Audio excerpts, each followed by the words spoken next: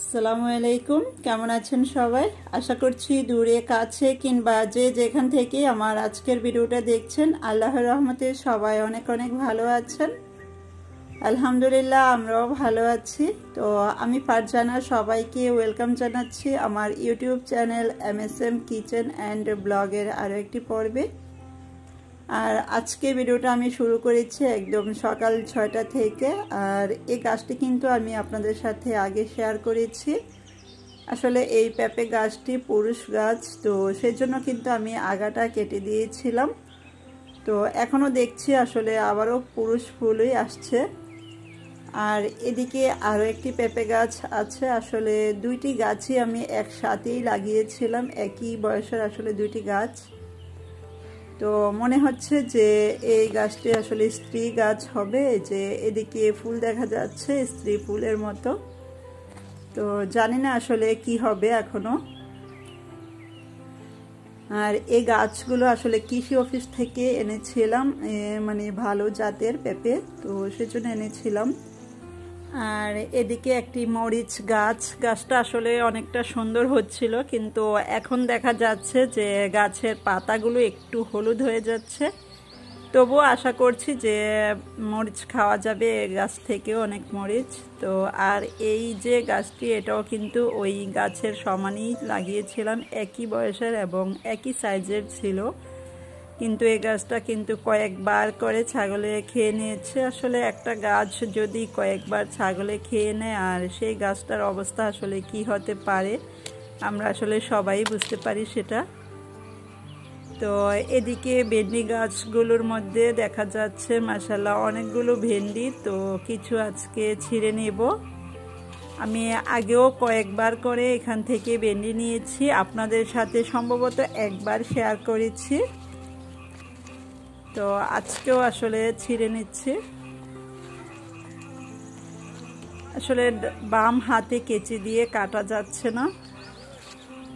তো এখন আমি ক্যামেরাটা বাম হাতে নিয়ে ডান হাতে, তারপরে হচ্ছে কেটে নিব ভেন্ডিটা। আসলে এক হাতে ক্যামেরা নিয়ে অন্য হাতে কাজ করা কিন্তু একটু টাফ হয়ে যায়।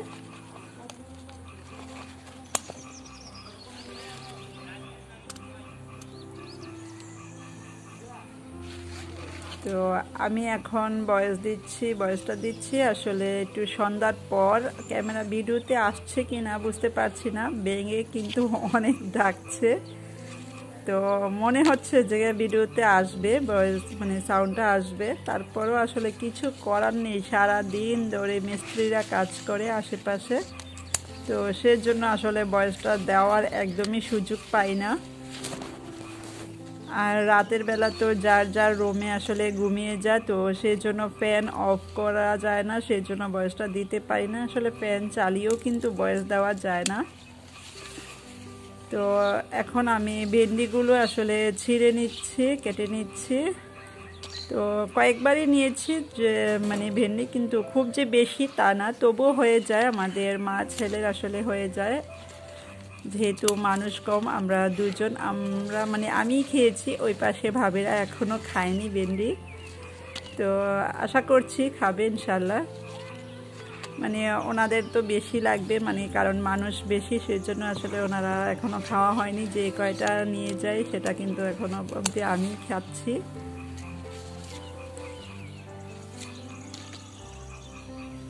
তো ওদিকেও আসলে মাচার নিচেও আসলে গাছ দিয়ে মানে আছে ভেন্ডি ওদিক দিয়ে আসলে ভেন্ডিগুলো ছিঁড়ে নিব। আর মাচাটা তো একদমই এখন মানে শূন্য অবস্থায় দাঁড়িয়ে আছে। আপনাদের সাথে আগের ভিডিওতে আমি শেয়ার করেছিলাম যে মাচার মধ্যে কিন্তু পুঁইশাক গাছ উঠেছিল, কিন্তু মানে ছাগলে টেনে নামিয়ে তারপরে খেয়ে নিয়েছে। এখন কিন্তু মাচাটা একদমই শূন্য। তো আমি এখন মাচার নিচ দিয়ে তারপরে যে বাকি ভেন্ডিগুলো কেটে নেব। আর এদিকের গাছগুলো আসলে একটু মানে হলুদ হয়ে যাচ্ছে, জানি না কেন এটা হচ্ছে। আপনারা যদি জেনে থাকেন তাহলে অবশ্যই আমাকে কমেন্ট করে জানাবেন। আর এই যে এদিকে একটি বাঙ্গি, আসলে একদমই সারপ্রাইজ হয়েছিলাম আজকে আমি। আগে দেখিনি বাঙ্গিটা, আগে তো আপনাদের সাথে শেয়ার করেছি, আগে আরও দুইটা বাঙ্গি কিন্তু খেয়েছি এখান থেকে।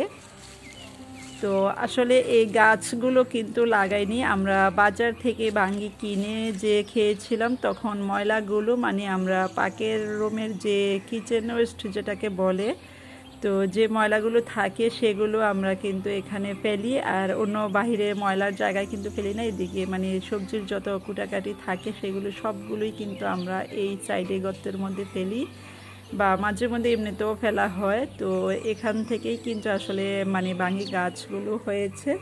তো আলহামদুলিল্লাহ, এটা নিয়ে তিনটা বাঙ্গি খাওয়া হবে। আর এদিকে ধুন্দুল গাছ, আসলে ধুন্দুল গাছটার বয়স অনেক।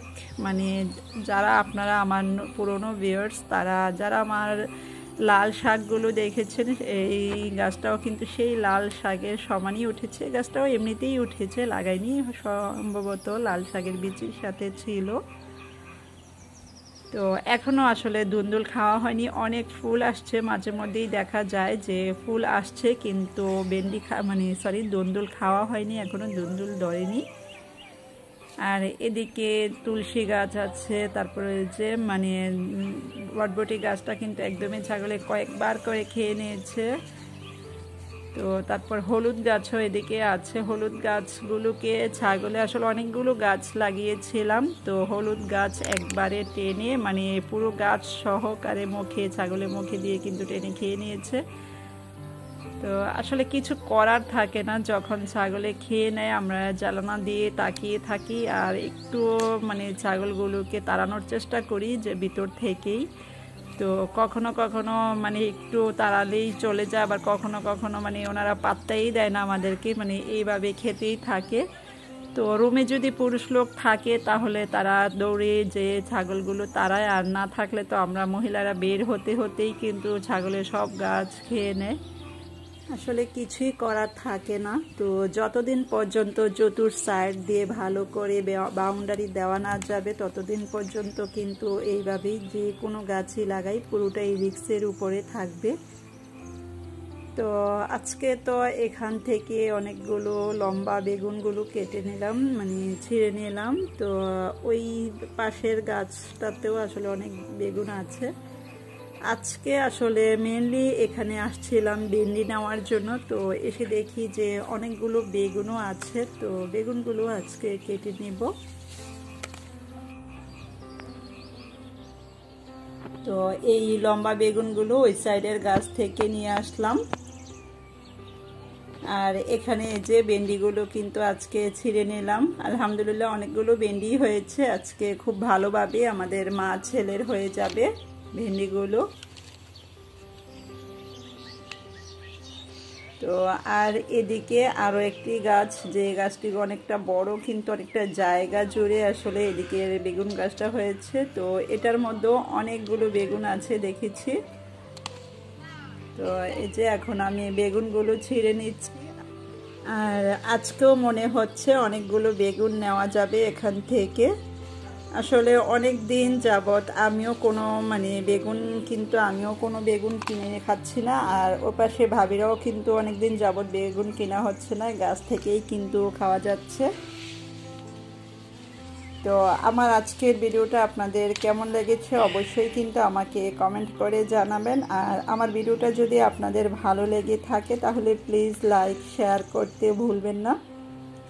আর যদি কেউ আমার চ্যানেলে মাত্রই জয়েন হয়ে থাকেন, আর এখনও আমার চ্যানেলটি সাবস্ক্রাইব করে না থাকলে প্লিজ আমার চ্যানেলটি সাবস্ক্রাইব করে পাশের ছোট্ট বেলাইকনটি ক্লিক করে রাখবেন পরবর্তী ভিডিওর নোটিফিকেশন পাওয়ার জন্য। তো এই যে অনেকগুলো, আলহামদুলিল্লাহ, অনেকগুলো বেগুন কিন্তু আজকে নিয়েছি, অনেকগুলো ভেন্ডিও নিয়েছি। তো আজকে আর অন্য কোনো সবজি আসলে নিয়েও আর তো দোয়া করবেন আপনারা সবাই, আমি যাতে অনেকগুলো গাছ লাগিয়ে নিজ হাতে গাছের সবজি ছিঁড়ে খেতে পারি। আর আজকের মতো এখানেই ভিডিওটা শেষ করে দিচ্ছি। সবাই ভালো থাকবেন। আর অবশ্যই আমার চ্যানেলটির সাথেই থাকবেন। আল্লাহ হাফেজ।